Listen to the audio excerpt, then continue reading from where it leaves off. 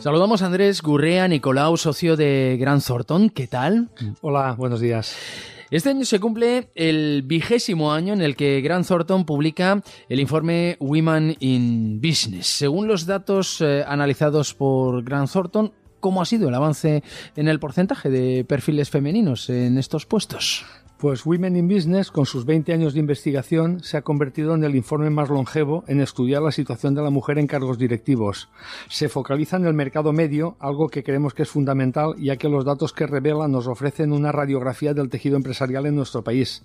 Los datos en estos 20 años nos indican que en España, en materia de diversidad, equidad e inclusión, en el ámbito empresarial, se han experimentado grandes avances en nuestro país, que son fruto de un compromiso firme y convencido por parte de las compañías y los empleados apoyado por un contexto normativo favorable y los cambios sociales. Desde 2004, primer año en el que realizamos el estudio Women in Business, las empresas españolas han incrementado en 26 puntos porcentuales la presencia de perfiles femeninos en puestos de alta dirección, pasando del 14 al 40% que destacamos este año. España es el país que mayor crecimiento ha experimentado de los países incluidos en el informe.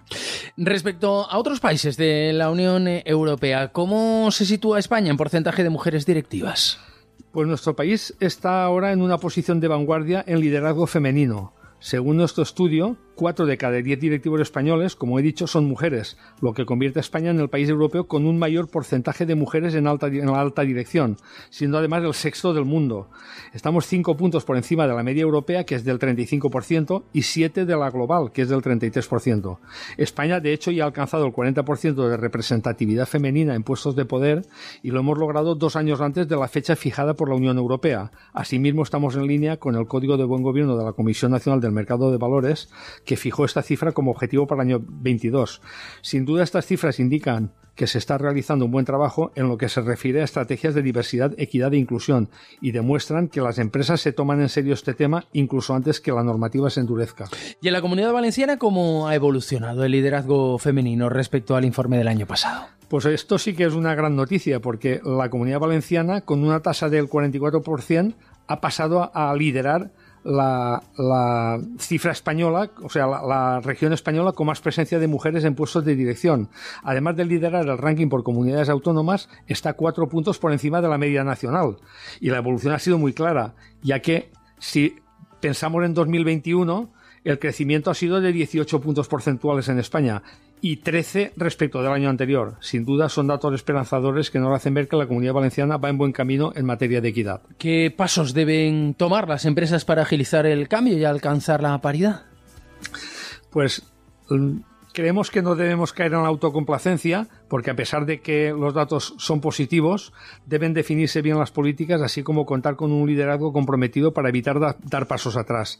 Si queremos mantener y seguir profundizando en estos avances, es crucial seguir promoviendo y desarrollando el talento femenino mediante planes y acciones concretas es importante que se establezcan estrategias diferenciadas en materia de diversidad, equidad e inclusión y que no se vean diluidas en las estrategias generales de sostenibilidad, una cuestión en la que nuestro país aún tiene mucho que mejorar. Además, fomentar la flexibilidad del trabajo creemos que también debe ser una prioridad, dado que desempeña un papel significativo en materia de igualdad de género y de conciliación laboral. Otro aspecto que destaca el Women in Business 2024 es que el liderazgo femenino se incrementa cuando las estrategias de diversidad e inclusión están colideradas por una posición de alta dirección, sea hombre o mujer, junto a una mujer directiva. Es decir, que en las empresas que se da esta circunstancia, un mayor número de mujeres accede a puestos directivos. En definitiva, la hoja de ruta para lograr una igualdad real pasa por fomentar la flexibilidad, incluir a mujeres en la toma de decisiones sobre estos temas, además de requerir un compromiso continuo y acciones concretas por parte de toda la sociedad. O sea que esos datos nos dicen que cuando son las mujeres las que tienen la responsabilidad, eh, las cosas mejoran mucho, pero eh, quién está dirigiendo, quién tiene actualmente la responsabilidad en materia de equidad, de diversidad e inclusión. Em, ¿Por qué es clave para aumentar ese porcentaje de mujeres en puestos directivos? En España, en estos momentos, según los últimos datos que recogemos en el estudio, son los directores de recursos humanos, con un 33%, quienes más están dirigiendo las estrategias de diversidad, equidad e inclusión, seguidos por el CEO, que se sitúa en un, 20, en un 26%, que es nueve puntos menos que el dato europeo y 15 menos que en el mundial, 41%. O sea, entendemos que el CEO debería involucrarse más. No podemos obviar que el liderazgo tiene una gran influencia en la motivación, el comportamiento o el desempeño de los empleados. Como decía anteriormente, la tendencia que refleja este estudio revela que el liderazgo femenino se incrementa cuando las estrategias de diversidad e inclusión están colideradas por la alta dirección junto con una mujer directiva. Por tanto, es clave que el responsable de estos planes no sea no, lo lidere de manera individual, sino que cuente con el apoyo y la experiencia personal de una alta directiva. Por ejemplo, la alta, la, presencia, la alta presencia de mujeres en un cargo tan importante como el de consejera delegada tiene consecuencias evidentes en el diseño, implantación y desarrollo de políticas en esta materia, ya que las CEO son más proclives a implementar estrategias que lo fomenten. ¿Cuáles son los puestos directivos con mayor porcentaje de mujeres en España? Pues con diferencia recursos humanos, que tiene el 41%, seguido de directora financiera con el 31% y CEO con el 27%. Estos son los que cuentan con mayor número de mujeres. En concreto, la figura de CEO ha ido evolucionando para dar entrada a perfiles femeninos, aunque la tasa de mujeres en este cargo se redujo ligeramente en nuestro país con respecto al año pasado. En cuanto a las posiciones estratégicas de poder, el informe refleja una progresión gradual en lo que a presencia femenina se refiere en posiciones como directora financiera o director de operaciones. No obstante, hay puestos como control operativo o director de ventas o directora de ventas que están por debajo del 20% y el puesto de presidenta en España está ocupado por tan solo un 3% de mujeres y el de socia por un 8%. Por tanto, nuestro, nuestro estudio concluye y recomienda que la mujer debe ocupar puestos que tengan una influencia real en la estrategia de la empresa y equilibrar los roles de poder. ¿A qué obstáculos se están enfrentando las consejeras delegadas de las compañías para sus nombramientos? ¿Son las mismas las expectativas que se tienen para las mujeres que para los hombres en estos cargos?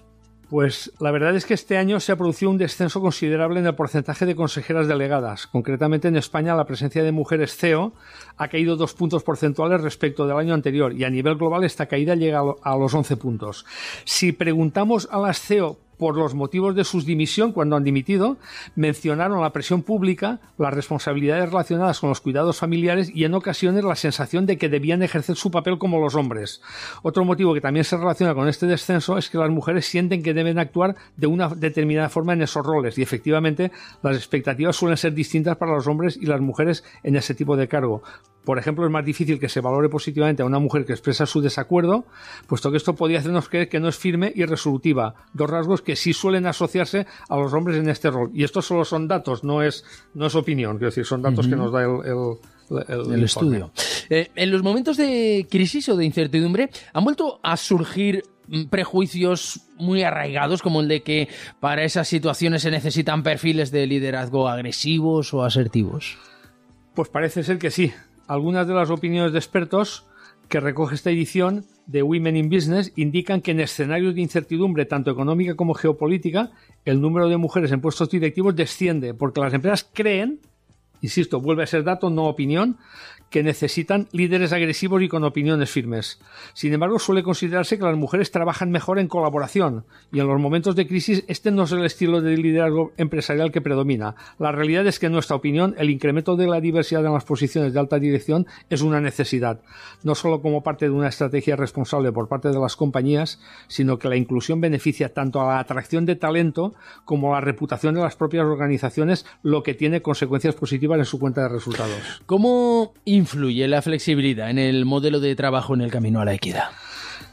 Pues el trabajo flexible, sin duda, es una de las principales vías para alcanzar la paridad en las empresas españolas y es un pilar sustancial de la conciliación laboral las formas de trabajo inciden considerablemente en cuántas mujeres apuestan por desarrollar una carrera directiva en una compañía. En el objetivo de lograr la paridad y una mayor presencia de la mujer, tanto en puestos directivos como en cualquier posición, el teletrabajo es una medida fundamental, ya que es un aspecto muy necesario para mejorar la flexibilidad y la conciliación entre la vida familiar y laboral. A pesar de ello, en el último año hemos vivido una tendencia que impulsa el trabajo de oficina y en España el 50% de las empresas han vuelto a un modelo presencial.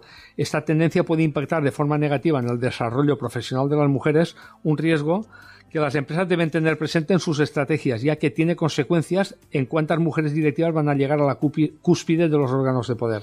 Para concluir, señor Gurrea, ¿qué conclusiones trae consigo este informe Women in Business? Pues las conclusiones podían ser, eh, por una parte, que el aumento del porcentaje de mujeres en puestos de alta dirección en el middle market, en el mercado de empresas medianas y pequeñas, ha sido demasiado lento. Y si no tenemos una clara voluntad de agilizar el cambio, corremos el riesgo de estancarnos y aún peor de revertir los avances logrados. Para seguir avanzando, desde Gran Thornton insistimos en las tres claves que nos brinda el informe Women in Business 2024. Uno es que las estrategias de diversidad, equidad e inclusión deben estar consideradas, colideradas por un miembro directivo, hombre o mujer, con una alta directiva. Es importante definir, la segunda, que es importante, importante definir una estrategia de diversidad, equidad e inclusión independiente y revisarla para asegurarse de que, de que incluye los elementos adecuados para aumentar el porcentaje de mujeres en puestos de alta dirección. Y, por último, debemos replantearnos las decisiones adoptadas en relación con la política de trabajo presencial y romper con la tendencia de vuelta a la oficina que cada día más compañías están reincorporando. Los datos obtenidos indican que ofrecer modelos de trabajo flexibles favorece el desarrollo de las mujeres en la alta dirección. Se trata de un compromiso conjunto que debe continuar porque en estos 20 años solo ha aumentado 19 puntos la presencia de mujeres en, puestos directivos. A este ritmo no alcanzaremos la paridad hasta 2053. Necesitamos más mujeres directivas para que dentro de 20 años Gran ya no tenga que volver a elaborar este tipo de informes. Pues necesitamos acelerar muchísimo ese camino a la equidad. Andrés Gurrea Nicolau, socio de Gran Thornton, muchísimas gracias. Muchas gracias a vosotros.